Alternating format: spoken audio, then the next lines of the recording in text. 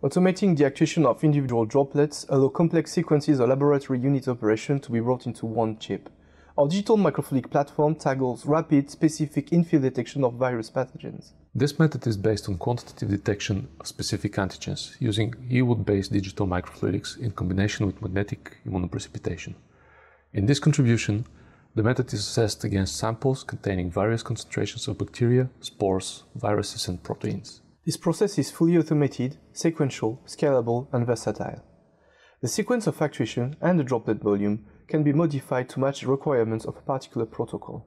Sidestepping the antibody-based sensing entirely, the digital microfluidic platform could build to a potential application based on aptamer biosensing, where the magnetic beads carry specific aptamers for capture and detection of nucleotide sequences. When trying this technique for the first time, it is important to consider the type of surfactant and how it interacts with your choice of biochemistry and the hydrophobic polymer coating.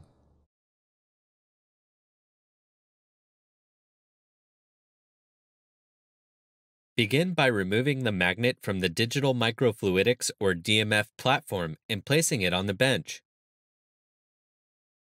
Place a clean actuation plate on the rotating stage with the chromium facing upward aligning the plate with the upper left corner of the recessed stage. Clamp the actuation plate from the top using the panel with the 47 contact pins, which will secure the plate into place and facilitate alignment with the contact pins. Then, lay the 0.5mm shim and the 2mm PMMA separator onto the rotating stage to provide a controlled gap between the actuation and cover.